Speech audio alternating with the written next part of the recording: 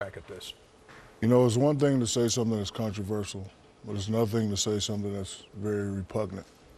The question is now should this guy continue being an owner? That's the question. Should this guy continue being an owner? You know, Should he? everyone has their thoughts. You know, everyone has their You opinions. But you know, you know, when your opinions and your thoughts become public knowledge, the question is now what? And and, and then another question is, is you know, will his team shut down on him? Will you know, will his team team take these remarks personally and say, you know what, we don't want to play for a guy like this? And, I mean, so it, you know, uh, unfortunate situation, but I think the league needs to take a very long, hard look on whether this guy should continue being an owner or not.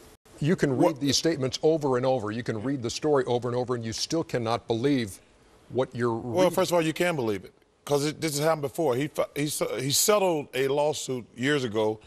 Uh, he's a, obviously he owns a lot of land and things also, and he settled a lawsuit that said he was discriminating against blacks and Hispanics. So this is habitual.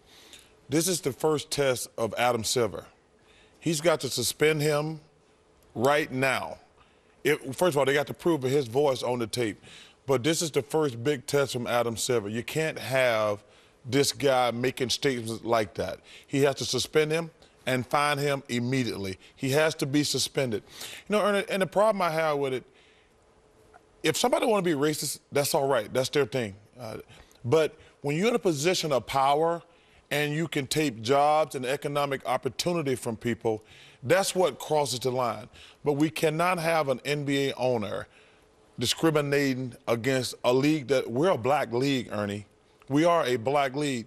I, I, I don't know the number, but I'd probably say 80% of our players are black. How do you take this as a player? Well, I, well, that's a different animal.